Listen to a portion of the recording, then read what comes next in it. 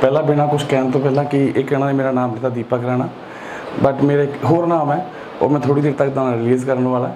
ਤੇ it's uh it's not first time ਕਿ ਮੈਂ ਕਿਤੇ ਓਪਨ ਮਾਈਕ ਜਾਂ ਟਾਕ ਸ਼ੋਅ ਦੇ ਵਿੱਚ ਬੋਲ ਰਿਹਾ। I have a lot of experience but ਇੱਥੇ ਆ ਕੇ ਜਦੋਂ ਮੈਂ ਸਭ ਦੀਆਂ ਸਟੋਰੀਆਂ ਸੁਣੀਆਂ ਨਾ, ਜਿੰਨੀਆਂ ਵੀ ਸੁਣੀਆਂ, ਉਹਨਾਂ ਸਭ ਦੇ ਵਿੱਚ ਮੈਂ ਕਿਤੇ ਨਾ ਕਿਤੇ ਹੈਗਾ।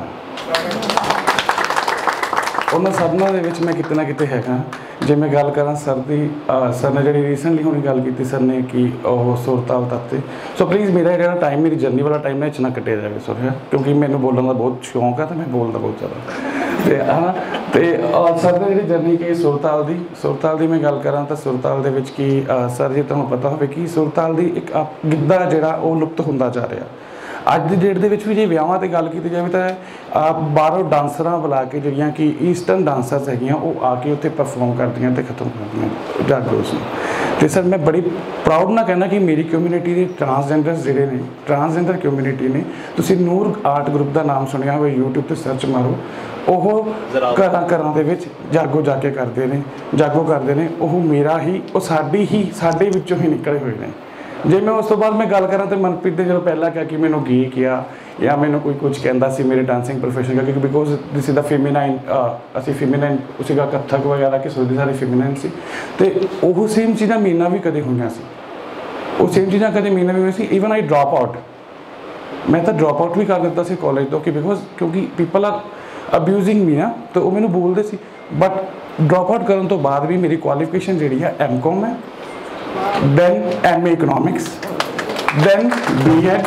Now I am pursuing MSW ਪਰ ਸਾਰੀਆਂ ਕੋਰਸਪੋਂਡੈਂਟ ਡਿਗਰੀ ਡਿਗਰੀਆਂ ਹਨ ਹੈ ਨਾ ਮੈਂ ਕਾਲਜ ਜਾਣਾ ਮੈਂ ਪਸੰਦ ਨਹੀਂ ਕਰਦਾ ਸੋ ਆਫਟਰ ਦੈਟ ਜੇ ਮੈਂ ਹੋਰ ਗੱਲ ਕਰਾਂ ਇੱਥੇ ਪ੍ਰਦੀਪ ਜੀ ਬੈਠੇ ਸੀ ਜਿਨ੍ਹਾਂ ਨੇ ਐਚਆਈਵੀ ਰਿਲੇਟਡ ਗੱਲ ਕੀਤੀ ਹੈ ਤੇ ਆਈ ਐਮ ਪ੍ਰਾਊਡਲੀ ਸੇ ਕਿ I am working with I am working for the community people and I am working with HIV peoples ਮੇਰੇ ਨਾਲ ਉਹ ਬਹਿ ਕੇ ਕੰਮ ਕਰਦੇ ਆ ਤੇ ਲੋਕਾਂ ਨੂੰ ਮੈਂ ਜਦੋਂ ਅੱਜ ਵੀ ਗੱਲ ਕਰਾਂ ਨਾ ਤੋ ਕਿਸੇ ਵੀ ਜਦੋਂ ਮੈਂ ਗੱਲ ਕਰਨ ਜਾਂਦਾ ਸੀਗਾ ਨਾ ਕਿ ਐਚਆਈਵੀ ਬਾਰੇ, ਜਦੋਂ ਮੇਰਾ ਕੰਮ ਸਟਾਰਟ ਐਚ ਆਈ ਵੀ ਤੋਂ ਹੀ ਹੋਇਆ ਸੀ, ਮੇਰੀ ਲਾਈਫ ਦੀ ਜਰਨੀ ਜਿਹੜੀ ਸੀ, ਮੇਰੀ ਇੱਕ ਕਿਸੇ ਬੰਦੇ ਦੀ ਇੱਕ ਗੱਲ ਨੇ ਬਦਲ ਦਿੱਤੀ ਸੀ। ਕਹਿੰਦੇ ਕਦੇ ਕਦੇ ਕੋਈ ਗੱਲ ਬਦਲ ਦਿੰਦੀ ਹੈ। ਹਨਾ? I want to sit now because ਪਤਾ ਕਿ ਐਕਚੁਅਲ ਦੇ ਵਿੱਚ ਆਈ ਮੈਂ ਸਾਰੀ ਰਾਤ ਟਰੈਵਲ ਕੀਤਾ ਤੇ ਮੇਰੇ ਪੈਰ ਸਵੈਲ ਕਰ ਸੁੱਜੇ ਹੋਏ ਆ। ਉਹਦਾ ਰੀਜ਼ਨ ਸੀ ਕਿਉਂਕਿ ਕੱਲ ਇੱਕ ਨੈਸ਼ਨਲ ਲੈਵਲ ਦੇ ਇਵੈਂਟ ਸੀ ਤੇ I was the part of that event so Delhi uh, ਸੀਗਾ ਉਹ ਤੇ ਰਾਤੀ ਮੈਨੂੰ ਵੋਲਵੋ ਨਹੀਂ ਮਿਲੀ ਤੇ ਮੈਂ ਆਰਡੀਨਰੀ ਬੱਸ ਵਿੱਚ ਟਰੈਵਲ ਕਰਕੇ so that's why I'm here so ਤੋ ਐਕਚੁਅਲ ਦੇ ਵਿੱਚ ਜਦੋਂ ਕਮਰ ਪਹਿਲੇ ਦਿਨ ਆਇਆ ਕਿ 22 ਜੂਨ ਨੂੰ, ਕਿਉਂਕਿ ਮੇਰਾ ਜਿਹੜਾ ਸ਼ਡਿਊਲ ਆ ਪੂਰਾ ਪੈਕਡ ਹੁੰਦਾ ਹੈ ਕਿ ਪਹਿਲੇ ਕੀ ਇਸ ਦਿਨ ਇਹ ਕਰਨਾ, ਕਿਉਂਕਿ because I am activist for ਇੱਕ ਮਾਰਜਨਲਾਈਜ਼ਡ ਕਮਿਊਨਿਟੀ ਦੇ ਐਕਟਿਵਿਸਟ ਹਾਂ ਐਲਜੀਬੀਟੀ ਕਮਿਊਨਿਟੀ ਜਿਹਨਾਂ ਬਾਰੇ ਲੋਕੀ ਗੱਲ ਕਰਨਾ ਹੀ ਚੰਗਾ ਨਹੀਂ ਸਮਝਦੇ ਜਿਹਨਾਂ ਬਾਰੇ ਲੋਕੀ ਗੱਲ ਹੀ ਨਹੀਂ ਕਰਦੇ। ਜਦੋਂ ਕੋਈ ਗਲੀ ਚੋਂ ਲੰਘਦਾ ਹੈ ਨਾ, ਜਦੋਂ ਕੋਈ ਫੈਮਿਨਾਈਨ ਹੁੰਦਾ ਹੈ ਮੈਂ ਥੋੜਾ ਇਮੋਸ਼ਨਲ ਵੀ ਕਿਤੇ ਨਾ ਕਿਤੇ ਸ਼ਾਇਦ ਹੋ ਜਾਂਦਾ ਜਦੋਂ ਮੈਂ ਸਟੋਰੀਜ਼ ਬਾਰੇ ਸੀਮਾ ਸੋਨੀ ਮੈਡਮ ਦਾ ਮੇਰਾ ਅਟਰੈਕਸ਼ਨ ਹੈਗਾ ਬਿਕੋਜ਼ ਉਹਨਾਂ ਦੇ ਆਰਜੇਸ ਮੇਰੇ ਨਾਲ, ਉਹਨਾਂ ਦੇ ਬਹੁਤ ਅੱਛਾ ਰਿਲੇਸ਼ਨਸ ਆ, ਉਹਨਾਂ ਦਾ ਵੀ ਤੇ ਆਰਜੇਸ ਦਾ ਵੀ ਤੇ ਮੈਂ ਉਹਨਾਂ ਦੇ ਆਫਿਸ ਵੀ ਗਿਆ। ਬਟ ਸਮਟਾਈਮਸ ਨਾ ਅਸੀਂ ਕੁਝ ਇਦਾਂ ਕਰਦੇ ਹਾਂ, ਜਿੱਦਾਂ ਮੈਡਮ ਗੱਲ ਕਰ ਰਹੀ ਸੀ ਲੜਕੀਆਂ ਬਾਰੇ। I am also working with girls ਮੈਂ ਕਰਦਾ ਬੱਚੀਆਂ ਦੇ ਨਾਲ ਕੰਮ ਵੀ, ਮੇਰੇ ਕੋਲੋਂ, ਪਰ ਮੇਰੀ ਬੱਚੀਆਂ ਟਰਾਂਸ ਆ। ਇੱਕ ਇੱਥੇ ਮੈਡਮ ਕਹਿ ਰਹੇ ਸੀ ਕਿ I am a single single mother ਮੈਂ ਉਹਨਾਂ ਨੂੰ ਉਸੇ ਵੇਲੇ ਕਿਹਾ I also a single mother ਮੈਂ ਵੀ ਸਿੰਗਲ ਮਦਰ ਹਾਂ। ਮੇਰੇ ਕੋਲੋਂ 6000 ਟਰਾਂਸਜੈਂਡਰਸ ਨੇ, ਜਿਨ੍ਹਾਂ ਦੀ ਮੈਂ ਮਾਂ ਆ ਜਿਹੜੇ ਕਿ ਮੈਨੂੰ ਕਹਿੰਦੇ ਸਾਡੀ ਮਾਂ ਆ। ਹੈਨਾ? ਤੇ ਕੋਈ ਮੈਨੂੰ ਉੱਥੇ ਕੋਈ ਰਿਸ਼ਤਾ ਦਿੰਦਾ ਕੋਈ ਕੋਈ ਕੋਈ ਰਿਸ਼ਤਾ ਦਿੰਦਾ ਕਿਸੇ ਦੇ ਕਹਿਣ ਨਾਲ ਕੁਝ ਨਹੀਂ ਹੁੰਦਾ ਪਰ ਮੇਰੀ ਸੋਚ ਇਹ ਹੈ ਕਿ ਜੇ ਤੁਹਾਨੂੰ ਕੋਈ ਗਲਤ ਵੀ ਵਰਡ ਬੋਲਦਾ ਹੈ ਨਾ, ਜੇ ਉਹਨੂੰ ਹੈਪੀਨੈਸ ਮਿਲਦੀ ਹੈ ਤਾਂ ਉਹਨੂੰ ਕੋ ਬੋਲਾ ਯਾਰ ਥੋੜੀ ਦੇਰ ਤੂੰ ਬੋਲ ਲੈ। ਕੁਝ ਨਹੀਂ, ਤੈਨੂੰ ਖੁਸ਼ੀ ਤਾਂ ਮਿਲਦੀ ਪਈ ਨਾ। ਸੋ ਆਈ uh, ਜਦੋਂ ਸਰ ਗੱਲ ਕਰ ਰਹੇ ਸੀਗੇ ਕਿ ਬਿਜ਼ਨਸ ਬਾਰੇ ਕਿ ਮੈਨੂੰ ਥ- 3800 ਰੁਪਏ ਮੇਰੀ earning C sir I start my journey with 20 rupees as a sex worker I start my journey as a, in a 20 rupees as a sex worker. Because ਮੈਂ ਫੈਮਿਨਾਈਨ ਸੀ ਮੈਨੂੰ ਕਿਸੇ ਨੇ ਅਸੈਪਟ ਨਹੀਂ ਕੀਤਾ। ਅਸੈਪਟ ਨਹੀਂ ਕਰਨ ਤੋਂ ਬਾਅਦ ਮੈਨੂੰ ਕਿਤੇ ਨੇ ਨੌਕਰੀ ਨਹੀਂ ਦਿੱਤੀ। I have a lot of skills I am also a devotional singer singer ਮੈਂ ਡਿਵੋਸ਼ਨਲ ਸਿੰਗਰ ਵੀ ਹਾਂ। ਮਤਲਬ ਹਰ ਇੱਕ ਓਪਰ ਸਭ ਕੁਝ ਹੋਣ ਦੇ ਬਾਵਜੂਦ ਵੀ ਮੇਰੇ ਕੋਲ ਕਿਤੇ ਵੀ ਕੁਝ ਨਹੀਂ ਸੀ, ਕਿਉਂਕਿ ਮੈਨੂੰ ਅਸੈਪਟ ਨਹੀਂ ਸੀ ਕੀਤਾ ਗਿਆ।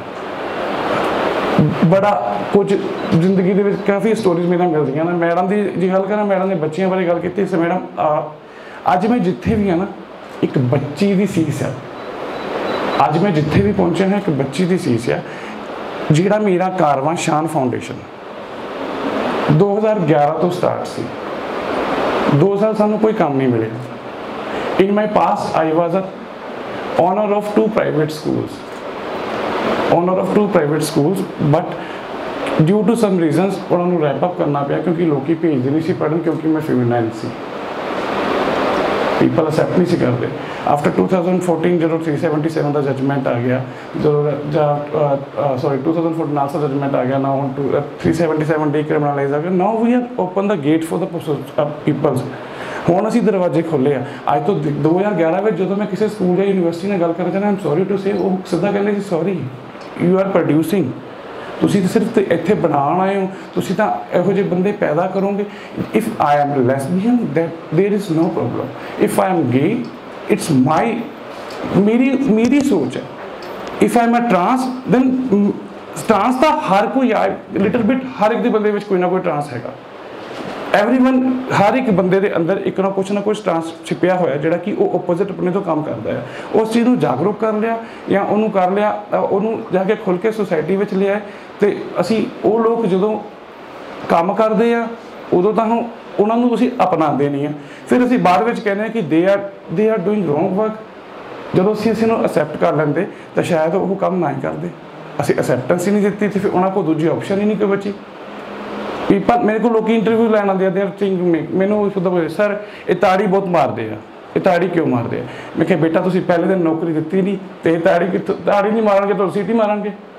ਕੀ ਕਰਨਗੇ? ਜੇ ਤੁਸੀਂ ਪਹਿਲੇ ਦਿਨ ਅਸੈਪਟੈਂਸ ਕਰ ਲੈਣੀ if we if we are talking in past ਜੇ ਮੈਂ ਪਾਸਟ ਤੇ ਗੱਲ ਕਰਾਂ I am sorry to say please ਅਨਾ ਇਹ ਕਿਉਂਕਿ ਇਟ ਇਜ਼ ਅ ਵੈਰੀ ਬੜਾ ਸੀਰੀਅਸ ਕੰਸਰਨ ਆ ਸੀਰੀਅਸ ਇਸ਼ੂ ਹੈ ਕਿਉਂਕਿ people are not working on that it is a very serious issue and please ਜੇ ਮੇਰਾ ਟਾਈਮ ਥੋੜਾ ਵੱਧ ਜਾਂਦਾ, ਤਾਂ ਮੈਨੂੰ ਆਈ ਅਪੋਲੋਜਾਈਜ਼ ਆਈ ਅਪੋਲੋਜਾਈਜ਼ ਹੈ ਕਿਉਂਕਿ ਅੱਜ ਦੀ ਡੇਟ ਦੇ ਵਿੱਚ ਵੀ people are not knowing about the gender norms gender awareness ਨਹੀਂ ਹੈਗੀ। ਮੈਂ ਅੱਜ ਵੀ ਕਿਤੇ ਸੈਂਸਿਟਾਈਜੇਸ਼ਨ ਵਰਕਸ਼ਾਪ ਕਰਨ ਜਾਣਾ ਹੈ, ਤਾਂ ਮੈਂ ਲਾਸਟ ਈਅਰ ਹੀ ਹੁਣੀ last month sorry I did advocacy with the DALSA district legal service authorities and ਜੱਜ ਸਾਹਿਬ ਬੈਠੇ ਹੋਏ ਆ 90 ਵਕੀਲਸ ਬੈਠੇ ਹੋਏ ਆ but they don't know about what are the gender norms because gender gender ਹੈ ਕੀ ਹੈ ਅਸੀਂ ਇੱਕ ਆਪਣੇ ਦਿਮਾਗ 'ਚ ਬਣਾ ਲਈ ਹੈ ਸੋਚ ਕਿ ਜੇ ਇਹ ਪੈਂਟ ਕਮੀਜ਼ ਪਾਉਂਦਾ ਹੈ ਇਹ ਮੁੰਡਾ ਹੈ ਜੇ ਇਹ ਸਲਵਾਰ ਸੂਟ ਪਾਉਂਦੀ ਹੈ ਤੇ ਇਹ ਕੁੜੀ ਹੈ ਅਸੀਂ ਅਪ, ਸ਼ੁਰੂ ਤੋਂ ਹੀ ਉੱਤੇ ਥੋਪਣਾ ਸ਼ੁਰੂ ਕਰ ਦਿੱਤਾ। ਉਹਦੇ ਵਿੱਚ ਅਸੀਂ ਉਹਨੂੰ ਨਾ ਜਾਣ ਕੇ, ਉਹਦੀ ਜੈਂਡਰ ਨੋਰਮਸ ਨੂੰ ਨਾ ਪਛਾਣ ਕੇ, ਅੱਜ ਦੀ ਡੇਟ ਦੇ ਵਿੱਚ ਅਸੀਂ ਕਿੱਥੇ ਕਿੱਥੇ ਸਟੈਂਡ ਕਰਦੇ ਹਾਂ ਆਈ ਮੈਂ ਇਹ, ਮੈਂ ਨਹੀਂ, ਤੁਸੀਂ ਵਧੇਰਾ ਜਾਂ ਚੰਗੀ ਤਰ੍ਹਾਂ ਸਮਝ ਸਕਦੇ ਹੋ। I am working with the population that is a gay ਸਭ ਤੋਂ ਪਹਿਲਾਂ ਮੇਰੀ ਜਰਨੀ ਸ਼ਾਨ ਫਾਊਂਡੇਸ਼ਨ ਦੀ ਸਟਾਰਟ ਹੋਈ 2013 ਦੇ ਵਿੱਚ। ਅਸੀਂ we are starting with a single ਦਰੀ and water cooler we don't have anything ਸਾਡੇ ਕੋਲ ਕੁਝ ਨਹੀਂ ਸੀ। ਮੈਂ ਸਿੰਗਲ ਦਰੀ ਤੇ ਇੱਕ ਵਾਟਰ ਕੂਲਰ ਸੀ। ਉਹ ਚੀਜ਼ ਆਪਾਂ ਸਟਾਰਟ ਕਿੱਥੋਂ ਕੀਤੀ ਕਿ ਮੇਰੇ ਸਿਸਟਰ ਦੇ ਬੇਟਾ ਹੋਇਆ। ਸਾਡੇ ਉਹ ਜਿੱਦਾਂ ਮਹੰਤਾਂ ਦੇ ਨੱਚਣ। ਮੰਤ ਨੱਚਣ ਆਏ ਤੇ ਜਿਵੇਂ ਹੀ ਉਹਨਾਂ ਨੇ ਆ ਕੇ ਸਾਡੇ ਤਾਂ ਅਸੀਂ ਕੁੜੀ ਵਾਲੇ ਸੀਗੇ, ਜਿੱਦਾਂ ਅਸੀਂ ਕਹਿੰਦੇ ਆ ਕਿ ਨਹੀਂ, ਅਸੀਂ ਕੁੜੀ ਵਾਲਿਆਂ ਨੂੰ ਥੋੜ੍ਹਾ ਨਾ ਵਧਾਈ ਦੇਣੀ ਹੈ ਜੀ, ਮੁੰਡੇ ਵਾਲਿਆਂ ਕੋਲ ਜਾ ਕੇ ਮੰਗੋ। ਤੇ ਉਹਨੇ, ਉਹਨਾਂ ਨੇ ਗੱਲ ਕਹੀ ਮੈਨੂੰ ਕਿਹਾ ਉਹਨਾਂ ਨੇ, ਹੀ ਸੈਡ ਮੀ ਕਿ ਬਾਊ ਜੀ, ਪਹਿਲਾ ਟਾਈਮ ਦੇ ਵਿੱਚ ਲੋਕਾਂ ਦੇ 7-7 ਨਿਆਣੇ ਹੁੰਦੇ ਸੀ। ਸਾਡੀ ਇੱਕ ਵਾਰ ਵਧਾਈ ਚੱਕਦੇ ਸੀ ਤੇ ਸਾਨੂੰ ਪਤਾ ਸੀ ਸਾਲ ਬਾਅਦ ਫੇਰ ਦੁਬਾਰਾ ਮਿਲ ਜਾਣੀ ਹੈ। ਹੁਣ ਤਾਂ ਲੋਕੀ ਨਿਆਣਾ ਹੀ ਇੱਕ ਜਾਂਦੇ ਆ। ਤੇ ਜਦੋਂ ਇੱਕ ਘਰ ਚਲ ਜਾਂਦੇ ਆ 25 ਸਾਲ ਅਗਲੇ ਉਸ ਘਰ ਦੇ ਦਰਵਾਜ਼ੇ ਸਾਡੇ ਲਈ ਬੰਦ ਹੋ ਜਾਂਦੇ ਆ ਤੇ ਅਸੀਂ ਕਿੱਥੋਂ ਕਮਾਈਏ? 25 ਸਾਲ ਉਸ ਘਰ ਦਰਵਾਜ਼ੇ ਬੰਦ ਹੋ ਜਾਂਦੇ। 25 ਸਾਲਾਂ ਬਾਅਦ ਜੇ ਉਹ ਕਿਤੇ ਮੁੜ ਦੁਆਰਾ ਵਿਆਹ ਕਰਵਾਉਂਦਾ ਹੈ, ਪਤਾ ਨਹੀਂ ਉਹ ਇੱਥੇ ਕਰਵਾਉਂਦਾ ਕਿ ਕਿੱਧਰੇ ਕਰਵਾਉਂਦਾ। ਅਸੀਂ ਤਾਂ, ਅਸੀਂ ਕਿੱਥੋਂ ਖਾਈਏ? ਕਿਉਂਕਿ ਸਾਡੇ ਕੋਲੋਂ ਤਾਂ ਸਾਡੇ ਏਰੀਆਜ਼ ਵੀ ਲਿਮਿਟਿਡ ਆ, ਜਾਂ ਫਿਰ ਸਾਡੇ ਕੋਲ ਦੂਜੀ ਆਪਸ਼ਨ ਹੀ ਕੋਈ ਨਹੀਂ ਬਚਦੀ, ਜਾਂ ਬੈਗਿੰਗ ਜਾਂ ਸੈਕਸ ਵਰਕ ਜਾਂ ਆਹ ਵਧਾਈ ਤੀਸਰੀ ਕੋਈ ਆਪਸ਼ਨ ਨਹੀਂ ਬਚਦੀ। ਸੋ ਉਸ ਵਰਡ ਨੇ ਹੀ ਮੇਰੀ ਲਾਈਫ ਚੇਂਜ ਕਰ ਦਿੱਤੀ ਕਿ ਨਹੀਂ ਆਈ ਹੈਵ ਟੂ ਡੂ ਕਿਉਂਕਿ ਥੋੜਾ ਜਿਹਾ ਮੈਨੂੰ ਮੇਰੇ ਸਪਿਰਿਟ ਸੀਗੀ ਕਿ ਨਹੀਂ ਮੈਂ ਕੁਝ ਕਰਨਾ ਕੁਝ ਕਰਨਾ and I start my journey in NGO sector as a peer educator ਜਿਹੜਾ ਕਿ ਲੋਕਾਂ ਨੂੰ ਜਾ ਜਾ ਕੇ ਦੱਸਦਾ ਸੀ ਕੰਡਮ ਡੈਮੋਨਸਟ੍ਰੇਸ਼ਨ ਬਾਰੇ ਦੱਸਦਾ ਸੀ ਕੰਡਮਸ ਬਾਰੇ ਅਵੇਅਰ ਕਰਦਾ ਸੀ ਤੇ ਮੇਰੇ ਫੈਮਿਲੀ ਨੇ ਮੇਰੇ ਦੋਸਤਾਂ ਨੇ ਮੈਨੂੰ ਬੋਲੀ ਕੀਤਾ ਮੇਰੀ ਫੈਮਿਲੀ ਮੈਨੂੰ ਬੋਲੀ ਕਿ ਤੂੰ ਕਿਹੜੇ ਕੰਮਾਂ 'ਚ ਪੈ ਗਿਆ ਹਾਂ ਕੀ ਵੇਚਦਾ ਪਿਆ, ਕੀ ਦੇਣਾ ਪਿਆ ਲੋਕਾਂ ਨੂੰ? ਆਮ ਆਮ ਨਾਟ ਸੈਲਿੰਗ ਮਤਲਬ ਕਿ ਆਮ ਗਵਰਨਮੈਂਟ ਦਾ ਪ੍ਰੋਡਕਟ ਹੀ ਲੋਕਾਂ ਨੂੰ ਜਾ ਕੇ ਪ੍ਰੋਵਾਈਡ ਕਰਵਾਉਣਾ ਸੀ ਕਿ ਕਿਉਂਕਿ ਇਹ ਮਾਰਜਨਲਾਈਜ਼ਡ ਕਮਿਊਨਿਟੀ ਆ, ਉਹ ਐਚਆਈਵੀ ਦੇ ਖਤਰੇ 'ਚ ਜ਼ਿਆਦਾ ਸੀ, ਉਹਨਾਂ ਨੂੰ ਬਚਾਉਣਾ ਸੀ। ਬਟ ਉਹਨਾਂ ਨੇ ਇਸ ਚੀਜ਼ ਨੂੰ ਬਿਲਕੁਲ ਹੀ ਉਲਟ ਪਾਸੇ ਲੈ ਲਿਆ। ਉਲਟ ਪਾਸੇ ਲੈ ਰਿਹਾ ਨਾ। ਉਹਨਾਂ ਨੇ ਮੈਨੂੰ, ਮੇਰੀ ਫੈਮਿਲੀ ਨੇ, ਮੇਰੇ ਫਾਦਰ ਨੇ ਮੈਨੂੰ ਬਹੁਤ ਬੋਲੇ ਮੇਰੇ ਫਾਦਰ ਨੇ ਮੇਰੀ ਬਿਲਕੁਲ ਸਪੋਰਟ ਨਹੀਂ ਕੀਤੀ। ਸੋ ਫਾਦਰ ਨੇ ਸਪੋਰਟ ਨਹੀਂ ਕੀਤੀ ਮਦਰ ਨੇ ਵੀ ਨਹੀਂ ਸਪੋਰਟ ਕੀਤੀ। ਸਿਸਟਰ ਨੇ ਥੋੜਾ ਜਿਹਾ ਅੰਡਰਸਟੈਂਡ ਕੀਤਾ because she she is working in Emirates airlines so ਉਹ ਉਹ ਥੋੜੀ ਜੀ ਅੰਡਰਸਟੈਂਡ ਕਰਦੀ ਸੀ ਇਸ ਕਨਸੈਪਟ ਨੂੰ। ਉਹ ਸਮਝਦੀ ਸੀ। ਉਹ ਮੈਨੂੰ ਇਹਨੀ ਗੱਲ ਕਹਿੰਦੀ ਸੀ ਭਾ ਤੇਰੀ ਤੇਰੀ ਜਿੱਦਾਂ ਤੇਰੇ ਦੋਸਤ ਆਉਂਦੇ ਆ ਨਾ ਤੇ ਕੋ ਘਰੇ ਹਿਲਦੇ ਹੁਲਦੇ ਐਦਾਂ ਦੇ ਉੱਥੇ ਹਿਲਦੇ ਜੁਲਦੇ ਦੁਬਈ ਚ ਬਹੁਤ ਕੋਮਨ ਆ। ਇੱਥੇ ਕੋਈ ਨਹੀਂ ਕਹਿੰਦੇ, ਕੋਈ ਪੁੱਛਦਾ ਕਿ ਕਿਉਂ ਹਿਲਦੇ ਜੁਲਦੇ ਹੋ ਕਿੱਦਾਂ ਆ। ਹਨਾ? ਸੋ ਠੀਕ ਆ। ਉਦੋਂ ਮੈਂ ਵੀ ਉਹਨੂੰ ਸੈਂਸਲਾਈਜ਼ ਜ਼ਿਆਦਾ ਨਹੀਂ ਸੀ ਕਰ ਸਕਦਾ। After for the time being ਮੈਂ ਫਾਈਟ ਸਟਾਰਟ ਕੀਤੀ ਇੱਕ ਕਮਰੇ ਤੇ। ਇੱਕ ਕਮਰਾ, ਦਰੀ ਤੇ ਵਾਟਰ ਕੂਲਰ ਵੀ ਮੇਰੇ ਘਰ ਦਾ। After 2013 I got a project that is a community strengthen project India ਦਾ ਪਹਿਲਾ ਪ੍ਰੋਜੈਕਟ ਸੀ ਜਿਹੜਾ ਕਿ ਪੂਰੇ ਇੰਡੀਆ ਚੱਲਿਆ ਸੀ। ਉਹ ਕਮਿਊਨਿਟੀ ਸਟਰੈਂਥ ਕਰਨ ਦਾ ਪ੍ਰੋਜੈਕਟ ਸੀ। ਆਈ ਗੋਟ ਅ ਪ੍ਰੋਜੈਕਟ ਹੈ ਮੈਂ ਡਿਸਟ੍ਰਿਕਟ ਜਲੰਧਰ ਵਿੱਚ ਕੰਮ ਕੀਤਾ। ਡਿਸਟ੍ਰਿਕਟ ਜਲੰਧਰ ਵਿੱਚ ਕੰਮ ਕੀਤਾ। ਕਮਿਊਨਿਟੀ ਬੇਸਡ ਆਰਗੇਨਾਈਜੇਸ਼ਨ ਐਸਟੈਬਲਿਸ਼ ਕੀਤੀ। I established community based organization and I'm proud to say ਕਿ my organization ਜਿਹੜੀ ਆ community based ਆ।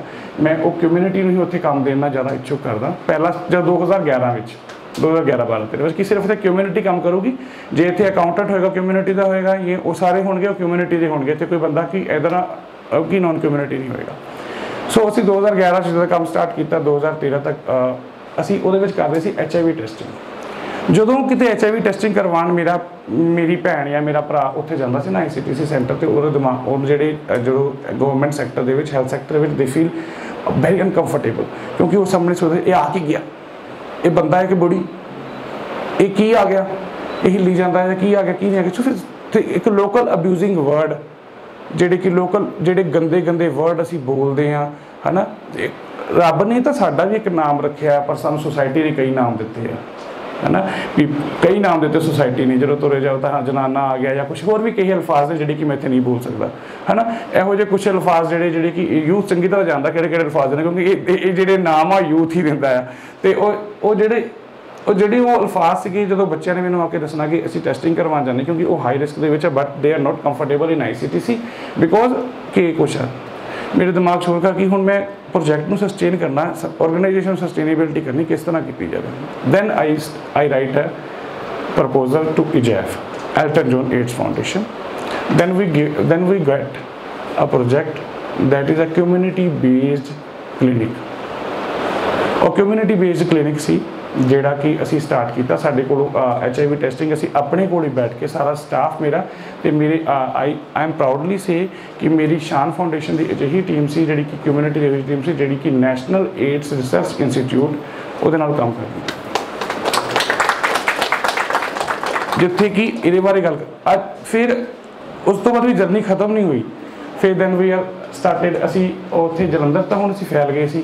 ਪਰ ਕਮਿਊਨਿਟੀ ਤਾਂ ਮੇਰੀ ਹੋਰ ਪੰਜਾਬ ਦੇ ਵੱਖ-ਵੱਖ ਇਲਾਕਿਆਂ 'ਚ ਵੀ ਹੈਗੀ ਆ, ਉਹਨਾਂ ਨੂੰ ਵੀ ਮੇਰੀ ਸੇਵਾਵਾਂ ਦੀ ਲੋੜ ਸੀ। ਤੇ ਪ੍ਰਾਊਡਲੀ ਸੇ ਕਿ ਹੁਣ ਸ਼ਾਮ ਫਾਊਂਡੇਸ਼ਨ 8 ਜ਼ਿਲ੍ਹਿਆਂ 'ਚ ਕੰਮ ਕਰਦੀ ਪਈ ਆ ਜਿਨੇ ਕਿ 2013 'ਚ ਉਹ ਇੱਕ ਜ਼ਿਲ੍ਹੇ ਤੋਂ ਸਟਾਰਟ ਕੀਤਾ ਸੀ, ਸਿਰਫ 100 ਬੰਦੇ ਦੇ ਨਾਲ। ਅੱਜ ਮੇਰੇ ਕੋਲੋਂ ਚਾਰ ਸਟੇਟਾਂ 'ਚ ਕੰਮ ਆ ਤੇ soon we are working in Chandigarh also ਤੇ ਜਿਹੜਾ ਕਾਰਵਾ ਸਿਰਫ, ਸਾਡਾ ਸਿਰਫ ਇੱਕ ਜਾਂ ਦੋ ਬੰਦੇ ਨਾਲ ਸ਼ੁਰੂ ਹੋਇਆ ਸੀ। ਮੈਂ ਇਹਦਾ ਫਾਊਂਡਰ ਸੀ ਤੇ ਇੱਕ ਮੇਰੇ ਨਾਲ ਕਲੀਗ ਸੀ ਮੇਰੇ। ਅੱਜ ਅਸੀਂ 45 ਜਣੇ ਆ ਜਿਹੜੇ ਕਿ ਉਸ ਟੀਮ 'ਚ ਕੰਮ ਕਰਦੇ ਪਏ ਹਾਂ ਤੇ 45 ਦੇ 45 ਬੰਦਿਆਂ ਦੇ ਵਿੱਚੋਂ 70% ਸਟਾਫ ਕਮਿਊਨਿਟੀ ਦਾ ਹੈ। ਔਰ ਇੱਕ ਇਨਸੀਡੈਂਟ ਹੋਰ ਸ਼ੇਅਰ ਕਰਾਂ ਕਿ ਇੱਕ ਲੜਕੀ ਸੀ trans woman C. Trans woman and she is BSc nursing she is BSc nursing and ਉਹਨੂੰ ਕਿਤੇ ਜੌਬ ਨਹੀਂ ਸੀ ਮਿਲਦੀ ਪਈ ਬਿਕੋਜ਼ ਉਹ ਫੈਮਿਨਾਈਨ ਸੀ, ਹਨਾ? ਤੇ she start begging she start sex work ਉਹ ਮੇਰੇ ਕੋਲ ਆਈ ਦੈਨ ਆਈ ਸੈਡ ਉਹਨੇ ਮੈਨੂੰ ਸਾਰੀ ਸਿਚੁਏਸ਼ਨ ਦੱਸੀ। ਦੈਨ ਉਹ ਸਟੇਟ ਦੀ ਪਹਿਲੀ ਟਰਾਂਸ ਔਮਨ ਸੀ ਜਿਹੜੀ ਕਿ ਮੇਰੇ ਕੋਲੋਂ ਐਜ਼ ਅ ਨਰਸ ਕੰਮ ਕਰਦੀ ਪਈ ਸੀ। ਤੇ ਅੱਜ ਆਈ ਐਮ ਪ੍ਰਾਊਡਲੀ ਸੈਡ ਕਿ ਉਹ ਬੱਚੇ ਨੂੰ ਮੈਂ 3 ਸਾਲਾਂ ਚ ਮੈਂ ਕੌਣ ਸਿਖਾਉਣ ਵਾਲਾ ਹੁੰਦਾ, ਉਹਦੀ ਉਹਦੀ ਲਗਨ ਸੀ, ਉਹਨੇ ਸਿੱਖ ਲਿਆ। ਅੱਜ ਉਹ ਦੋ ਡਿਸਟ੍ਰਿਕਟ ਦੀ ਪ੍ਰੋਜੈਕਟ ਮੈਨੇਜਰ ਹੈ ਦੋ ਡਿਸਟ੍ਰਿਕਟ ਦੀ ਪ੍ਰੋਜੈਕਟ ਮੈਨੇਜਰ ਆ ਵਿਦ ਦਾ ਮਤਲਬ ਅਸੀਂ ਸਟੈਪ ਫਾਰ ਜਦੋਂ ਮੈਡਮ ਨੇ ਕਿਹਾ ਸਟੈਪ ਫਾਰਵਰਡ ਕਰੋ ਸਟੈਪ ਫਾਰਵਰਡ ਨਹੀਂ ਕੀਤਾ। Then we got a project for the PLHI peoples ਅਸੀਂ ਇੱਕ ਪ੍ਰੋਜੈਕਟ ਹੋ ਲਿਖਿਆ ਕਿ ਸਰ, ਅਸੀਂ ਲਾਸਟ ਲਾਸਟ ਈਅਰ ਦੀ ਗੱਲ ਕਰਾਂ, ਸਰ? ਐਚਆਈਵੀ ਨੂੰ ਲੈ ਕੇ ਇਹਨਾਂ ਲੋਕੀ ਡਿਸਕ੍ਰਿਮੀਨੇਸ਼ਨ ਕਰਦੇ ਨੇ ਇਹਨਾਂ ਡਿਸਕ੍ਰਿਮੀਨੇਸ਼ਨ ਕਰਦੇ ਨੇ ਸਕੂਲਿੰਗ ਲੈਵਲ ਦੇ ਸਾਡੇ ਕੋਲ ਬੜੇ ਕੇਸਿਸ ਆਉਂਦੇ ਆ।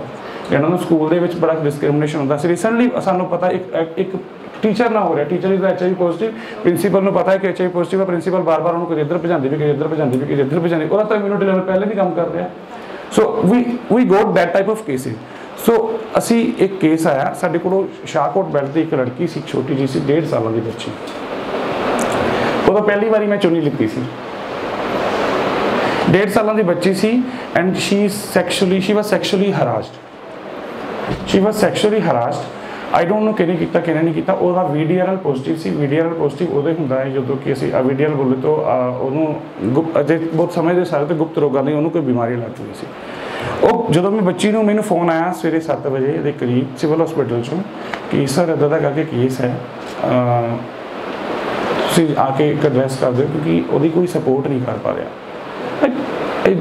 ਆਈ ਐਮ ਸ਼ੋਰ ਕਿ ਕੀ ਕੇਸ ਹੋਗਾ ਕਿ ਨਹੀਂ ਕਰ ਚੋਰੀ ਕਰਨੀ ਆਈ ਬਲੈਡਲੀ ਲੈ ਲਿਆ ਥੋੜਾ ਜਿਹਾ।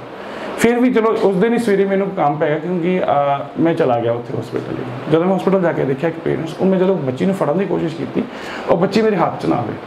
I am a counsellor also am a good counsellor ਮੈਨੂੰ ਪਤਾ ਮੈਂ ਗੁੱਡ ਕਾਉਂਸਲਰ ਸੋ ਤੇ ਜਦੋਂ ਮੈਂ ਬੱਚੀ ਨੂੰ ਫੜਨ ਦੀ ਕੋਸ਼ਿਸ਼ ਕਰਦਾ ਸੀ, ਬੱਚੀ ਮੇਰੇ ਹੱਥ 'ਚ ਨਹੀਂ ਆ ਰਹੀ ਸੀ। ਮੈਂ ਕਿਹਾ, ਨਹੀਂ madam there there is some something was wrong there video reactive ਆ। ਉਹਦੇ ਟੈਸਟ ਵਾਸਤੇ ਪੈਸੇ ਨਹੀਂ ਹੈਗੇ ਪੇਰੈਂਟਸ ਕੋ ਪੇਰੈਂਟਸ ਬੋਥ ਆਰ ਦਾ ਪੀਐਲਐਚਆਈਵੀ ਹਨਾ? ਤੇ ਦੋਨੋਂ people who living with HIV ਆ। ਤੇ ਉਹਨਾਂ ਕੋ ਵੀ ਕਿਰਾਏ ਜੋਗੇ ਪੈਸੇ ਨਹੀਂ ਆ। ਇਹ ਕੁਝ ਹੋਇਆ ਹੈ ਗਲਤ ਹੈ ਲੜਕੀ ਦੇ। ਨਾਲ ਤੁਸੀਂ ਮੰਨੋਗੇ ਉਹ ਕੁੜੀ ਆਂਦੀ ਨਹੀਂ ਸੀ ਬਈ, ਮੈਂ ਚੁੰਨੀ ਲੈ ਕੇ ਕੁੜੀ ਨੂੰ ਫੜਿਆ, ਕੁੜੀ ਫਟਾਫਟ ਆ ਗਈ। ਬੱਚਾ 1.5 ਸਾਲ ਦਾ ਬੋਲ ਕੇ ਤਾਂ ਦੱਸ ਨਹੀਂ ਸਕਦਾ ਸੀ ਮੈਨੂੰ ਸੈਕਸ਼ੂਅਲੀ ਕਿਹਨੇ ਹਰਾਸ ਕੀਤਾ। ਪਰ ਜਦੋਂ ਮੈਂ ਚੁੰਨੀ ਲੈ ਕੇ ਉਸ ਕੁੜੀ ਨੂੰ ਫੜਿਆ, ਕੁੜੀ ਮੇਰੇ ਕੋਲ ਆ ਗਈ। ਤੇ ਜਦੋਂ ਮੈਂ ਉਹਦੀ ਸਿਚੁਏਸ਼ਨ ਦੇਖੀ ਨਾ ਸੌਰੀ ਟੂ ਸੇ ਉਹ ਬਲੀਡ ਕਰਦੀ ਪਈ ਸੀ। ਹਨਾ? ਅਸੀਂ ਉਹ ਜਦੋਂ ਉਸ ਤੋਂ ਬਾਅਦ ਅਸੀਂ ਉਹਦਾ ਮੈਂ ਆਇਆ ਆਫਿਸ ਆਇਆ, ਮੇਰੀ ਕਮਿਊਨਿਟੀ ਦੇ ਬੰਦੇ ਬੈਠੇ ਹੋਏ ਸੀ, ਸਿਰਫ ਸਿਰਫ ਕਮਿਊਨਿਟੀ ਦੇ ਬੰਦੇ। ਮੈਂ ਉਹਨਾਂ ਨੂੰ ਜਦੋਂ ਆ ਕੇ ਕੇਸ ਡਿਸਕਸ ਕੀਤਾ ਕਿ ਟੀਡੀਪੀ ਟੀਡੀਪੀ ਦਾ ਇੱਕ ਟੈਸਟ ਆ ਜਿਹੜਾ ਗਵਰਨਮੈਂਟ ਹਸਪੀਟਲਸ ਨਹੀਂ ਹੋ ਪਾ ਰਿਹਾ ਬਟ ਇਟ ਕੋਸਟਡ ਲਾਈਕ 2400 ਤੇ ਇਵਨ ਮੈਂ ਚਾਹੇ, ਅਸੀਂ ਚਾਹੇ ਪੰਜਾਬ ਲੈਵਲ ਦਾ ਇੰਟਰਵਿਊ ਚੱਲਦਾ because I don't have private vehicle ਹਨਾ? ਮੈਨੂੰ ਅੱਛਾ ਲੱਗਦਾ ਕਿਉਂਕਿ ਆਈ ਐਮ ਵਰਕਿੰਗ ਜਦੋਂ ਜਦੋਂ ਮੇਰੇ ਕੋਲ ਪ੍ਰਾਈਵੇਟ ਵਹੀਕਲ ਆ ਜਾਊਗਾ ਨਾ, ਸ਼ਾਇਦ ਮੇਰਾ ਉਹ ਜਿਹੜਾ ਉਹ ਗ੍ਰਾਸ ਰੂਟ ਲੈਵਲ ਦਾ ਕਨੈਕਸ਼ਨ ਉਹ ਸ਼ਾਇਦ ਟੁੱਟ ਜਾਏਗਾ ਕਿਤੇ। ਤੇ ਮੈਨੂੰ ਉਸ ਕਨੈਕਸ਼ਨ ਦੇ ਟੁੱਟਣ ਦਾ ਇੰਨਾ ਡਰ ਹੈ ਨਾ, ਮੈਂ ਉਹੀ ਨਾ, ਉਹ ਉਸੇ ਤਰ੍ਹਾਂ ਹੀ ਕਮਿਊਨਿਟੀ ਦੇ ਨਾਲ ਨਾਲ ਵਿਚਰ ਕੇ ਤੇ ਮੇਰਾ ਕਨੈਕਸ਼ਨ ਬਣਿਆ ਰਹੇ। ਉਹਨਾਂ ਨੇ ਜਦੋਂ ਅਸੀਂ ਉਹ ਗਿਆ, ਮੈਂ ਉਹਨਾਂ ਕਮਿਊਨਿਟੀ ਨੂੰ ਕਿਹਾ ਕਿ ਇਦਾਂ ਦਾ ਕਰਕੇ ਕੇਸ ਹੈ ਤੁਸੀਂ ਮੰਨੋਗੇ? ਉਹਦੇ ਪੈਸੇ ਦੇਣ ਵਾਸਤੇ ਆਮ ਬੰਦੇ ਨੇ ਕਿ ਉੱਥੇ ਦੇ ਡਾਕਟਰ, ਵੱਡੇ ਡਾਕਟਰ ਨੇ ਵੀ ਸਿੱਧਾ ਕਹਿਤਾ ਸੀ, ਸਾਡੇ ਕੋਲ ਤਾਂ ਰੋਜ਼ ਬਥੇਰੇ ਕੇਸ ਆਉਂਦੇ ਰਹਿੰਦੇ, ਅਸੀਂ ਕਿਹਦੀ ਕਿਹਦੀ ਹੈਲਪ ਕਰੀਏ? ਅਸੀਂ ਪਹਿਲਾਂ ਡਾਕਟਰਸ ਨੂੰ ਅਪਰੋਚ ਕੀਤਾ, ਕਿਹਦੀ ਕਿਹਦੀ ਹੈਲਪ ਕਰੀਏ ਜੀ, ਅਸੀਂ ਨਹੀਂ ਕਰ ਸਕਦੇ, ਅਸੀਂ ਤਾਂ ਕੋਈ ਨਹੀਂ। ਮੈਂ ਕਿਹਾ ਡਾਕਟਰ ਸਾਹਿਬ ਡਾਕਟਰ ਦੇ ਬੜੇ ਕੰਸਰਨਸ ਹੁੰਦੇ ਆ, ਕਿਸੇ ਵੀ ਲੈਬ 'ਚ ਲਿਖ ਕੇ ਪਾ ਦੂਗਾ, ਮੋਹਰ ਲਾ ਕੇ ਕਿ ਮੈਂ ਸਿਵਲ ਹਸਪੀਟਲ ਡਾਕਟਰ ਨਾ ਮੇਰਾ ਇੱਕ ਟੈਸਟ ਕਰ ਦੇ, ਵੀ ਫ੍ਰੀ ਆਫ ਕੋਸਟ ਕਰ ਦੇਗਾ। ਲੈਬੋਰੇਟਰੀ ਵਾਲਾ, ਆਈ, ਮੇਰੇ ਹਿਸਾਬ ਨਾਲ ਤਾਂ ਫ੍ਰੀ ਆਫ ਕੋਸਟ ਕਰ ਪਰ ਡਾਕਟਰ ਨੇ ਡਿਨਾਈ ਕਰ ਜੇ ਡਾਕਟਰ ਨੇ ਰਿਸਪੌਂਸਿਬਿਲਟੀ ਲੈਣ ਤੋਂ ਮਨਾ ਕਰਤਾ ਮੈਂ ਕਿੱਥੇ ਜਾਵਾਂ? ਮੈਂ ਵੀ ਸੋਚ ਰਿਹਾ ਸੀ because I I have just 152 rupees in my pocket ਹੁਣ ਟੈਸਟ ਤਾਂ 2400 ਰੁਪਏ ਦਾ ਕਰਾਂ ਤੇ ਕਰਾਂ ਕਿੱਥੋਂ? ਆਫਿਸ ਗਿਆ ਆਫਿਸ ਜਾ ਕੇ ਗੱਲ ਕੀਤੀ। ਤੁਸੀਂ ਮੰਨੋਗੇ? ਜਿਨ੍ਹਾਂ ਨੂੰ ਤੁਸੀਂ ਦਤਕਾਰਦੇ ਹੋ ਉਹਨਾਂ ਖੁਸਰਿਆਂ ਨੇ 2400 ਰੁਪਏ ਦੇ ਕੇ ਉਹਦਾ ਟੈਸਟ ਕਰਵਾਇਆ। ਉਸ ਤੋਂ ਬਾਅਦ ਉਹਦੇ ਪੇਰੈਂਟਸ ਨੂੰ 1600 ਰੁਪਏ ਦਿੱਤਾ ਕਿ ਤੁਸੀਂ ਇਹਨੂੰ ਕੁੜੀ ਦਾ ਟ੍ਰੀਟਮੈਂਟ ਵਾਸਤੇ ਰੋਜ਼-ਰੋਜ਼ ਆਉਂਦੇ ਰਹੋ, ਇਹਦਾ ਟ੍ਰੀਟਮੈਂਟ ਹੀ ਰੁਕਣਾ ਚਾਹੀਦਾ। ਸੋ ਉਸ ਬੱਚੀ ਦੇ, ਉਸ ਜਿਹੜੀ ਸਲਿੱਪ ਸੀ ਨਾ, ਉਹਦੀ ਬਿੱਲ ਦੀ ਮੈਂ ਐਵੇਂ ਸਿੱਟ ਦਿੱਤੀ ਸੀ ਇੱਧਰ ਉੱਧਰ ਕਿ ਇਹੋ ਜਿਹਾ ਕੰਮ ਨੂੰ ਕੀ ਰਿਪੋਰਟ ਕਰਨਾ, ਜਿਹੜਾ ਸੈਲਫ ਸੈਟੀਸਫੈਕਸ਼ਨ ਮਿਲੀ, ਕੀ ਕਰਨਾ ਨਾ ਅਸੀਂ ਮੈਂ ਪ੍ਰੋਜੈਕਟ ਵਾਸਤੇ ਲਿਖਿਆ। ਅਸੀਂ ਪ੍ਰੋਜੈਕਟ ਵਾਸਤੇ ਕੋਈ ਇੱਕ ਵਿਜ਼ਿਟ ਦਾ ਫਾਰਮੈਟ ਹੁੰਦਾ ਹੈ ਜਿੱਦਾਂ ਕਿ ਅਸੀਂ ਸਕੂਲਾਂ ਦੀ ਐਫੀਲੀਏਸ਼ਨ ਲੈਣ ਜਾਈਏ ਤਾਂ ਉਦੋਂ ਬੜਾ ਫਾਰਮੈਟ ਲੈ ਕੇ ਆਉਂਦੇ ਨਾ ਕਿ ਇਹਨੇ ਆ ਸਕੋਰਿੰਗ ਇਧਰੋਂ ਐ। ਤੋ ਉਹ ਫਾਰਮੈਟ ਸਾਡਾ ਵੀ ਐਨਜੀਓ ਲੈਣ ਦਾ ਟੀਆਈ ਦਾ ਫਾਰਮੈਟ ਹੁੰਦਾ ਸੋਰੀ ਉਹ ਫਾਰਮੈਟ ਲੈ ਕੇ ਜਦੋਂ ਬੈਠੇ ਤੇ ਉਹਦੇ ਵਿੱਚ ਮੇਰੇ 6 ਨੰਬਰ ਘਟਦੇ ਪਏ ਸੀ। ਕੀ ਤੁਸੀਂ ਕਿਸੇ ਪੀਐਲਐਚਏਵੀ ਦੀ ਕਦੇ ਕੋਈ ਮਦਦ ਕੀਤੀ ਹੈ? ਉਹਦਾ ਪ੍ਰਸ਼ਨ ਇਹ ਸੀ ਪੀਐਲਐਚਏਵੀ ਦੀ ਮਦਦ ਕੀਤੀ, ਮਦਦ ਅਸੀਂ ਕੀਤੀ ਸੀ, ਕਿਉਂਕਿ ਪਿਛਲੇ ਸਾਲ ਆਪਾਂ ਤਿੰਨ, ਆਪਾਂ ਇਸ ਕੰਮ ਨੂੰ ਨਹੀਂ ਸੀ ਗਿਣਦੇ ਪਏ। ਅਸੀਂ ਪਿਛਲੇ ਸਾਲ ਤਿੰਨ ਪੀਐਲਐਚਏਵੀ ਲੋਕ ਜਲੰਧਰ ਜ਼ਿਲ੍ਹੇ ਦੇ ਹੀ ਆ, ਜਿਹੜੇ ਕਿ ਉਹਨਾਂ ਦੇ, ਉਹਨਾਂ ਨੇ ਬਹੁਤ ਮੋਟਾ ਮੋਟਾ ਪੈਸਾ ਕਮਾ ਕੇ ਦਿੱਤਾ and one is advocate one is advocate and two are the community people ਜਿਨ੍ਹਾਂ ਨੂੰ ਉਹਨਾਂ ਦੇ ਘਰਦਿਆਂ ਨੇ ਅੰਤਮ ਇਸ਼ਨਾਨ ਕਰਾਉਣ ਤੋਂ ਵੀ ਮਨਾ ਕਰਤਾ, ਕਿਉਂਕਿ ਉਹ ਐਚਆਈਵੀ ਪੋਜ਼ਿਟਿਵ ਸੀ। ਤੇ ਉਹਨਾਂ ਦੇ ਸੰਸਕਾਰ ਤੱਕ ਸ਼ਾਨ ਫਾਊਂਡੇਸ਼ਨ ਵੱਲੋਂ ਜਾ ਕੇ ਅਸੀਂ ਕਰਕੇ ਆਏ ਹਾਂ। ਮੈਨੂੰ ਤਾਂ ਨਹੀਂ ਐਚਆਈਵੀ ਹੋ ਗਈ। ਉਹਨਾਂ ਨੂੰ ਹੱਥ ਲਾਉਣ ਨਾਲ। ਮੈਂ ਉਹਨਾਂ ਨੂੰ ਨਿਭਾਇਆ ਵੀ, ਧਵਾਇਆ ਵੀ, ਉਹਨਾਂ ਦੇ ਐਂਡ ਦੇ ਵੇਲੇ ਤੱਕ ਸੇਵਾ ਵੀ ਕੀਤੀ। ਜਿਵੇਂ ਇੱਕ ਜਿਵੇਂ ਅਸੀਂ ਇੱਕ ਮਾਂ ਬੱਚੇ ਨੂੰ ਕਰਦੀ ਹੈ ਨਾ, ਬੱਚੇ ਦੀ ਲੈਟਰਿੰਗ ਸਾਫ਼ ਕਰਦੀ ਆ, ਜਦੋਂ ਬੱਚਾ ਛੋਟਾ ਹੁੰਦਾ ਹੈ ਜਾਂ ਬੱਚੇ ਦਾ, ਬੱਚੇ ਦੇ ਕੱਪੜੇ ਬਦਲਦੀ ਆ I I did that work with my team ਮੇਰੀ ਟੀਮ ਨੇ ਆਪਾਂ ਜਾ ਕੇ ਕੰਮ ਕੀਤਾ and all are the trans ਉਹਨਾਂ 'ਚ ਕੋਈ ਇਹੋ ਜਿਹਾ ਨਹੀਂ ਹੈਗਾ, ਤੁਸੀਂ, ਉਹ ਸਾਰੇ ਵਿਚਾਰੇ ਮੇਰੇ ਵਾਂਗੂ ਹਿਲਦੇ ਜੁਲਦੇ ਨੇ, ਕੋਈ ਟੈਨਸ਼ਨ ਨਹੀਂ ਆਪਾਂ ਨੂੰ। ਹੈਨਾ? ਆਮ ਓਪਨਲੀ ਸੈਡ ਦੈਟ ਕਿ ਵੀ ਆਰ ਪ੍ਰਾਊਡ ਕਿ ਜੋ ਅਸੀਂ ਆ, ਸਾਨੂੰ, ਅਸੀਂ ਬਹੁਤ ਖੁਸ਼ ਹਾਂ ਉਹਦੇ ਵਿੱਚ। ਵੀ ਫੀਲ ਪ੍ਰਾਊਡ ਕਿਉਂਕਿ ਅਸੀਂ ਜੇ ਅਸੀਂ ਅਪਣਾ ਨਹੀਂ ਸਕਦੇ ਨਾ, ਜੇ ਅਸੀਂ ਕਿਸੇ ਨੂੰ ਅਪਣਾ ਨਹੀਂ ਸਕਦੇ, ਤਾਂ ਸਾਨੂੰ ਪਰਮਾਤਮਾ ਨੇ ਇਹ ਹੱਕ ਨਹੀਂ ਦਿੱਤਾ ਕਿ ਅਸੀਂ ਕਿਸੇ ਨੂੰ ਨਿੰਦੀਏ ਵੀ। ਕਿਉਂਕਿ ਅਸੀਂ ਜੇ ਸਾਰੇ, ਅਸੀਂ ਕੋਈ ਵੀ ਕੰਮ ਕਰਦੇ ਨਾ, ਤੇ ਅਸੀਂ ਇਹੀ ਸੋਚਦੇ ਨਾ ਕਿ ਅਸੀਂ ਹਾਈ ਗਲਤ ਕੰਮ ਕਰਾਂਗੇ, ਰੱਬ ਸਾਨੂੰ ਸਜ਼ਾ ਦੇਊਗਾ। ਕਰੀ- ਰੱਬ ਦੀ ਸਭ ਤੋਂ ਸੋਹਣੀ ਕ੍ਰੀਏਚਰ ਕਿਹੜੀ ਆ? ਮਨੁੱਖ। ਤੇ ਜੇ ਅਸੀਂ ਮਨੁੱਖ ਦੀ ਰਿਸਪੈਕਟ ਨਹੀਂ ਕਰਦੇ ਪਏ, ਤਾਂ ਕਿਤੇ ਨਾ ਕਿਤੇ ਅਸੀਂ ਡਿਸਰਿਸਪੈਕਟ ਨਹੀਂ ਕਰਦੇ ਪਏ ਨੇ ਕਿਤੇ ਨਾ ਕਿਤੇ ਅਸੀਂ ਡਿਸਰਿਸਪੈਕਟ ਤਾਂ ਹੋਣੀ ਕਰਦੇ ਪਏ ਅਸੀਂ ਜਦੋਂ ਉਹਨਾਂ ਨੂੰ ਦੱਸਿਆ ਕਿ ਇਸ ਤਰ੍ਹਾਂ ਸੰਸਕਾਰ ਕਰਵਾਇਆ ਉਹ ਕਹਿੰਦੇ ਠੀਕ ਆ ਓਕੇ ਬਟ ਨਹੀਂ, ਫਿਰ ਵੀ ਤਿੰਨ ਨੰਬਰ ਘੱਟ ਦੇ ਪਏ ਆ। ਕਿਉਂਕਿ ਉਹਦੇ ਡਾਕੂਮੈਂਟ ਨਹੀਂ ਹੈਗੇ ਡਾਕੂਮੈਂਟ ਚਾਹੀਦਾ ਕੋਈ ਤੁਸੀਂ ਮੰਨੋਗੇ ਮੈਂ ਡਰਾਅ ਖੋਲਿਆ ਉਹ ਪਰਚੀ ਨੂੰ ਮੈਨੂੰ ਪਤਾ ਨਹੀਂ ਸੀ ਪਰਚੀ ਆਪਣੇ ਆਪ ਉੱਪਰ ਆ ਗਈ।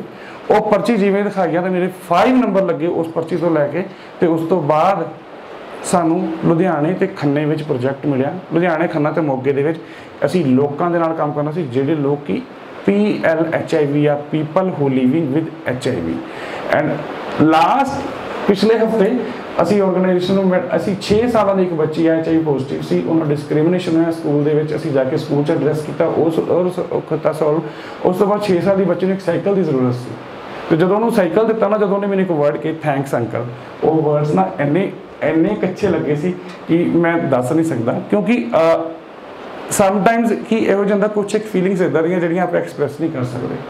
ਸੋ ਮੇਰੇ ਨਾਲ ਤਾਂ ਮੇਰੀ ਜਿਹੜੀ ਮੈਂ ਤਾਂ ਸੱਚੀ ਦੱਸਾਂ ਮੈਂ ਮੈਂ ਤਾਂ ਪੂਰਾ ਜਗਰਾਤਾ ਕਰ ਸਕਦਾ ਜਿਹੜਾ ਜਿਹੜਾ ਅਸੀਂ ਆਹ ਕੰਮ ਕੀਤਾ ਆ। ਇੰਨਾ ਅਸੀਂ ਕੰਮ ਕਰ ਚੁੱਕੇ ਆ ਕਿ ਆ ਮੈਂ ਉਹ ਕਹਿ ਰਿਹਾ ਸੀ ਕਿ ਜਿੰਨੀ ਜਿੰਨੇ ਦੀ ਜਰਨੀ ਸਭ ਦੇ ਵਿੱਚ ਕੁਝ ਨਾ ਕੁਝ ਹੈਗਾ ਹੀ ਆ ਕਿ ਆਪਾਂ ਇਹ ਕੀਤਾ ਜਾਂ ਇਹ ਕੀਤਾ। ਕਈ ਵਾਰੀ ਮੇਰਾ ਵੀ ਦਿਲ ਕੀਤਾ ਚੱਪਲ ਪਾ ਘਰ ਚੱਲ ਜਾਵਾਂ, ਮੈਂ ਨਹੀਂ ਕੰਮ ਕਰਨਾ ਇਹਨਾਂ ਦੇ ਨਾਲ। ਮੈਂ ਨਹੀਂ ਕੰਮ ਕਰਨਾ, ਇਹ ਤਾਂ ਸਮਝਦੇ ਨਹੀਂ। ਇਹ ਸਮਝਦੇ ਨਹੀਂ ਗੱਲ ਨੂੰ। ਇੰਪਾਵਰਮੈਂਟ ਤੇ ਮੈਂ ਕੰਮ ਕੀਤਾ। ਪੰਜਾਬ ਦੇ ਵਿੱਚ ਪਹਿਲਾ ਪਾਰਲਰ ਮੈਂ ਖੋਲਿਆ ਟ੍ਰੇਨਿੰਗ ਸੈਂਟਰ ਖੋਲਿਆ ਜਿਹੜਾ ਕਿ ਸਿਰਫ ਟਰਾਂਸਜੈਂਡਰ ਵਾਸਤੇ ਹੈ ਜਿੱਥੇ ਕਿ ਟਰਾਂਸਜੈਂਡਰ ਆ ਕੇ ਆਪਣਾ ਸਿੱਖਣ, ਪ੍ਰਤਿਭਾ ਸਿੱਖਣ ਤੇ ਉਹਨਾਂ ਨੂੰ ਸਿਖਾਉਣ ਵਾਲੇ ਕੌਣ ਆ, ਤੁਹਾਡੇ ਵਰਗੀਆਂ ਲੇਡੀਜ਼ ਆ ਕੇ ਸਿਖਾਉਂਦੀਆਂ ਪਈਆਂ ਉਹਨਾਂ ਨੂੰ ਤੇ ਉਹ ਪਹਿਲੇ ਦਿਨ ਜਦੋਂ ਆਈ ਸੀ, ਉਹ ਕਹਿੰਦੀ ਮੈਨੂੰ ਬੜਾ ਅਨਕੰਫਰਟੇਬਲ ਫੀਲ ਹੋਇਆ, ਉਸ ਤੋਂ ਬਾਅਦ ਉਹ ਕਹਿੰਦੀ, ਨਹੀਂ ਸਰ ਇਹ ਤਾਂ ਸਾਡੇ ਨਾਲੋਂ ਵੀ ਚੰਗੇ ਆ। ਇਹ ਤਾਂ ਸਾਡੇ ਨਾਲੋਂ ਵੀ ਚੰਗੇ ਆ। ਔਰ ਆਈ ਥਿੰਕ ਕਮਰ ਨੇ ਤਾਂ ਦੇਖਿਆ ਵੀ ਸਾਡਾ ਪਾਰਲਰ ਵੀ ਦੇਖਿਆ ਕਮਰ ਨੇ ਤੇ ਉਸ ਤੋਂ ਬਾਅਦ ਫਿਰ ਸਰ ਮੈਡਮ ਨੇ ਇੱਕ ਟਿਫਨ ਸਰਵਿਸ ਦੀ ਗੱਲ ਕੀਤੀ ਸੀ, ਮੈਡਮ, ਸਾਡੇ ਕੋਲ ਟਰਾਂਸ ਕਿਚਨ ਵੀ ਹੈਗਾ ਅਸੀਂ ਟਰਾਂਸ ਕਿਚਨ ਵੀ ਖੋਲਿਆ ਹੈ ਕਿਉਂਕਿ ਟਰਾਂਸਜੈਂਡਰ ਕਮਿਊਨਿਟੀ ਬਹੁਤ ਅੱਛੀ ਬਾਵਰਚੀ ਵੀ ਆ। ਸਾਡੇ ਜਦੋਂ ਉਹ ਉਹ ਟਰਾਂਸ ਕਿਚਨ ਵੀ ਅਸੀਂ ਖੋਲ ਕੇ ਉੱਥੇ ਬੱਚੇ ਉਹ ਆਉਂਦੇ ਆ, ਉਹ ਬਣਾਉਂਦੇ ਆ ਖਾਣਾ, ਉਸ ਤੋਂ ਬਾਅਦ ਕਮਿਊਨਿਟੀ ਖਾਂਦੀ ਆ, ਫਿਰ ਉਸ ਤੋਂ ਬਾਅਦ ਉਹ ਟਿਫਨ ਸਰਵਿਸ ਕਰਕੇ ਉਹਨਾਂ ਨੂੰ ਦਿੰਦੀ ਵੀ। ਫਿਰ ਟਿਫਨ ਸਰਵਿਸ ਦੇ ਵਿੱਚ ਵੀ ਡਿਸਕ੍ਰਿਮੀਨੇਸ਼ਨ ਹੋਇਆ ਉਹਨਾਂ ਬੱਚਿਆਂ ਦੇ ਨਾਲ ਕਿਉਂਕਿ ਉਹ ਟਰਾਂਸਜੈਂਡਰ ਆ, ਉਹਨਾਂ ਦਾ ਬਣਿਆ ਸੀ ਖਾਣਾ ਨਹੀਂ। ਉਹ ਸਾਨੂੰ ਵਧਾਈ ਦੇਣਾ, ਵਧ- ਉਹ ਆਸ਼ੀਰਵਾਦ ਦੇਣਗੇ, ਉਹ ਚੰਗਾ ਲੱਗੇਗਾ। ਪਰ ਜੇ ਸਾਨੂੰ ਕੁਝ ਪਕਾ ਕੇ ਖਵਾਣਗੇ ਵਿਚਾਰੇ ਹੱਥੀ ਕਿਰਤ ਕਰਨਗੇ, ਉਹ ਸਾਨੂੰ ਚੰਗਾ ਨਹੀਂ ਲੱਗਦਾ ਕਿ ਹੱਥੀ ਕਿਰਤ ਕਰਨ। ਕਿਉਂਕਿ ਅਸੀਂ ਪਹਿਲਾਂ ਤੋਂ ਮੈਂਟੈਲਿਟੀ ਬਣਾ ਲਈ ਆ ਕਿ ਉਹਨਾਂ ਨੇ ਘਰੇ ਆਣਾ ਦੋ ਤਾੜੀਆਂ ਮਾਰਨੀਆਂ, ਉਸ ਤੋਂ ਬਾਅਦ ਉਹਨਾਂ ਨੇ ਵਧਾਈ ਲੈਣੀ ਆ ਜਾਂ ਸਾਨੂੰ ਆਸ਼ੀਰਵਾਦ ਦੇਣਾ ਹੈ so we are going for the blessings ਹਨਾ? ਤੇ ਉਸ ਤੋਂ ਬਾਅਦ ਫੇਰ ਸਾਨੂੰ ਸਰਕਾਰ ਜਦੋਂ ਕਹਿੰਦੀ ਹੈ ਕਿ ਨੰਬਰਸ ਹੈ ਨਹੀਂ ਕਿ ਸਰਵਿਸਿਜ਼ ਕਿੱਥੋਂ ਦਈਏ?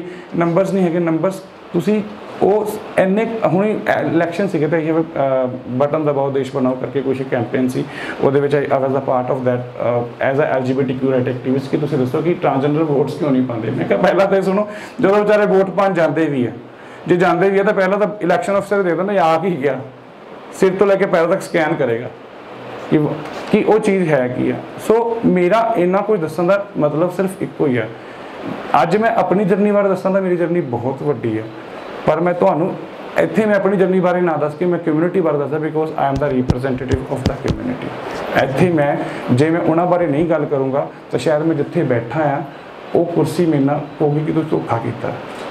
ਤੇ ਧੋਖਾ ਮੇਰੀ ਫਿਤਰਤ ਨਹੀਂ ਹੈ। ਇੱਕ ਸਟੈਪ ਤੁਸੀਂ ਥੋੜਾ ਅੱਗੇ ਵਧੋ। ਕਮਿਊਨਿਟੀ ਨੂੰ ਸਪੋਰਟ ਕਰੋ। ਕਮਿਊਨਿਟੀ ਦੇ ਵਿੱਚ ਕਈ ਇਹੋ ਜਿਹਾ ਮਲਟੀ ਟੈਲੈਂਟਡ ਆ, ਜੇ ਤੁਸੀਂ ਪਿੱਛੇ ਦੇਖੋ ਤਾਂ ਉਹ ਵੱਡੇ ਵੱਡੇ ਰਾਜਿਆਂ ਦੇ ਵਿੱਚ ਉਹ ਬੈਠੇ ਹੁੰਦੇ ਸੀਗੇ, ਉਹਦੇ ਨਾਲ ਕਿ ਉਹਨਾਂ ਨੂੰ ਵਿਚਾਰ ਵਿਮਰਸ਼ ਵਾਸਤੇ। ਉਹਨਾਂ 'ਚ ਬੈਠ, ਤੁਸੀਂ ਬ੍ਰਿੰਡਲਾਂ ਨੂੰ ਨਹੀਂ ਭੁੱਲ ਸਕਦੇ। ਸਾਰੇ ਕਹਿੰਦੇ ਨੇ ਮਹਾਭਾਰਤ ਦ੍ਰੋਪਦੀ ਕਰਕੇ ਹੋਈ, ਕਿ ਦ੍ਰੋਪਦੀ ਦਾ ਚੀਰਹਰ ਨਾ ਹੁੰਦਾ ਤੇ ਮਹਾਭਾਰਤ ਨਾ ਹੁੰਦੀ ਪਰ ਤੁਸੀਂ ਸ਼ਿਖੰਡੀ ਨੂੰ ਕਿਵੇਂ ਭੁੱਲ ਗਏ ਹੋ? ਉਹ ਅੰਬਾ ਨੂੰ ਕਿਵੇਂ ਭੁੱਲ ਗਏ ਹੋ? ਜਿਹੜੀ ਅੰਬਾ ਅੰਬਾਲਿਕਾ ਅੰਬਿਕਾ ਤਿੰਨੋਂ ਕੁੜੀਆਂ ਸੀ ਜਦੋਂ ਆਈਆਂ ਤੇ ਅੰਬਾ ਨੇ ਪਲੱਜ ਕੀਤਾ ਸੀ ਕਿ ਮੈਨੂੰ ਜਿਹੜਾ ਹਰਨ ਕਰਕੇ ਲੈ ਕੇ ਆਇਆ ਮੈਂ ਵਿਆਹ ਕਰਾਇਆ ਭੀਸ਼ਮ ਪਿਤਾਮਾ ਤੇ ਉਹਨੇ ਵਿਆਹ ਨਹੀਂ ਸੀ ਕਰਵਾਇਆ ਤੇ ਅੰਬਾ ਨੇ ਸ਼ੰਕਰ ਭਗਵਾਨ ਦੀ ਤਪੱਸਿਆ ਕਰਕੇ ਸੇਮ ਉਸੇ ਜਨਮ ਦੇ ਵਿੱਚ ਜਦੋਂ ਵੀ ਉਹ ਲੰਘਦਾ ਸੀਗਾ ਭੀਸ਼ਮ ਪਿਤਾਮਾ ਦੇ ਅੱਗੇ ਤੇ ਭੀਸ਼ਮ ਪਿਤਾਮਾ ਨਹੀਂ ਚਲਾਉਂਦੇ ਸੀ ਤਨੁਸ਼, ਕਿ ਉਹਨੂੰ ਪਤਾ ਸੀ ਉਹ ਲੜਕੀ ਹੈ। ਸੋ ਵੀ ਆਲਵੇਜ਼ ਅਸੀਂ ਉਸ ਚੀਜ਼ ਨੂੰ ਜੇ ਪਿਛੇ ਪਿਤਾਮਾ ਜਿੰਦਾ ਹੁੰਦੇ ਤਾਂ ਕੀ ਪਾਂਡਵ ਜਿੱਤ ਜਾਂਦੇ? ਕਦੇ ਵੀ ਨਹੀਂ। ਤੇ ਭੀਸ਼ਮ ਪਿਤਾ ਨੂੰ ਮਾਰਨ ਦੇ ਵਿੱਚ ਸ਼ਿਖੰਡੀ ਦਾ ਸੀ ਤੇ ਬ੍ਰਿੰਨਲਾ ਨੂੰ ਕਿਉਂ ਭੁੱਲਦੇ ਪਏ ਹੋ? ਅਸੀਂ ਆਪਣਾ ਪਾਸ ਕਿਉਂ ਭੁੱਲਦੇ ਪਏ ਹੋ? ਅਸੀਂ ਕਈਆਂ ਚੀਜ਼ਾਂ, ਕਈ ਚੀਜ਼ਾਂ ਅਡਾਪਟ ਕੀਤੀਆਂ ਬਾਹਰੋਂ ਆਇਆਂ ਤੋਂ। ਅਸੀਂ ਜਿੱਦਾਂ ਸਰ ਨੇ ਕਿਹਾ ਗੇਟਵੇ ਆ ਪੰਜਾਬ ਪੰਜਾਬ ਗੇਟਵੇ ਆ। ਸਾਡਾ ਜਿਹੜਾ ਬਾਥਰੂਮ ਦਾ ਕਲਚਰ ਹੈ ਨਾ, ਉਹ ਕਲਚਰ ਸ਼ਾਇਦ ਮੁਗਲਾਂ ਦਾ ਕਲਚਰ ਹੈ ਹਮਾਮ ਦਾ ਕਲਚਰ ਉਹ ਮੁਗਲਾਂ ਦਾ ਕਲਚਰ ਆ। ਉਹ ਅਸੀਂ ਅਡਾਪਟ ਕੀਤਾ। ਜੇ ਅਸੀਂ ਚੰਗੀਆਂ ਚੀਜ਼ਾਂ ਅਡਾਪਟ ਕੀਤੀਆਂ, ਤੇ ਮੁਗਲਾਂ ਦੇ ਵਿੱਚ ਇੱਕ ਟਰਾਂਸਜੈਂਡਰ ਵੀ ਹੁੰਦਾ ਸੀ, ਜਿਹੜਾ ਕਿ ਉਹਨਾਂ ਦੇ ਹਰਮ ਚ ਹੁੰਦਾ ਸੀਗਾ। ਲੇਡੀਜ਼ ਦੀ ਲੇਡੀਜ਼ ਦੀ ਹੈਲਪ ਕਰਦਾ ਹੁੰਦਾ ਸੀ। ਸੋ ਆਪਾਂ ਨੂੰ ਚਾਹੀਦਾ ਆ ਕਿ ਕਿ ਅਸੀਂ ਇੱਕ ਸਟੈਪ ਫਰਦਰ ਕਰੀਏ। ਤੇ ਜ਼ਿਆਦਾ ਕੁਝ ਨਹੀਂ ਕਹਿਣਾ ਮੇਰੀ ਸਰਵਿਸਿਜ਼ ਨੂੰ ਲੈ ਕੇ ਮੈਨੂੰ ਬੜੇ ਹੀ ਬੜੇ ਹੀ ਪ੍ਰਾਈਜ਼ਸ ਮਿਲਦੇ ਰਹਿੰਦੇ ਜਾਂ ਕੁਝ ਮਿਲਦੇ ਰਹਿੰਦੇ ਨੈਸ਼ਨਲ ਲੈਵਲ ਦੇ ਉੱਤੇ ਤੇ ਰੀਸੈਂਟਲੀ ਲਾਸਟ ਨਾਈਟ ਅਸੀਂ ਇੱਕ ਇਵੈਂਟ ਸੀਗਾ ਹਿਜੜਾ ਹੱਬਾ ਕਰਕੇ ਤੇ you can search on that ਕਿ ਉਹ ਅਹ, ਦਿੱਲੀ ਦੇ ਵਿੱਚ ਸੀ ਇਵੈਂਟ ਤੇ Gautam Gambhir was there and Manoj Tiwari was there as a panelist and ਉਹ ਟ੍ਰਾਂਸਜੈਂਡਰ ਬਿੱਲ ਆਉਣ ਵਾਲਾ ਹੈ ਤੇ ਜਿਹੜੇ ਜਿਹੜੇ ਵੀ ਐਮਪੀਜ਼ ਨੂੰ ਲੈ ਕੇ ਅਸੀਂ ਪੁਸ਼ ਕਰਦੇ ਪਏ ਹਾਂ ਕਿ ਕੁਝ ਉਹਦੇ ਵਿੱਚ ਹੈਗੀਆਂ ਜਿਹੜੀਆਂ ਚੀਜ਼ਾਂ ਉਸ ਚੀਜ਼ ਨੂੰ ਸੈੱਟ ਕੀਤਾ ਜਾਵੇ so as a Shan foundation ਮੈਂ ਇਹ ਰਿਕੁਐਸਟ ਕਰੂੰਗਾ please take a step take a step for a better movement ਕਿਉਂਕਿ ਕੱਲ ਕਿਸੇ ਟਰਾਂਸਜੈਂਡਰ ਦੇ ਵਿੱਚੋਂ ਜੇ ਅਫਸਰ ਰੈਡੀ ਫੇਸ ਆਫ ਕਾਂਗਰਸ ਬਣ ਸਕਦੀ ਹੈ ਤੇ ਕੱਲ ਕਿਸੇ ਨਾ ਕਿਸੇ ਟਰਾਂਸਜੈਂਡਰ ਕੋਈ ਨਾ ਕੋਈ ਦੇਸ਼ ਦਾ ਮੁੱਖ ਮੰਤਰੀ ਜਾਂ ਦੇਸ਼ ਦਾ ਪ੍ਰਧਾਨ ਮੰਤਰੀ ਵੀ ਹੋ ਸਕਦਾ। Thank you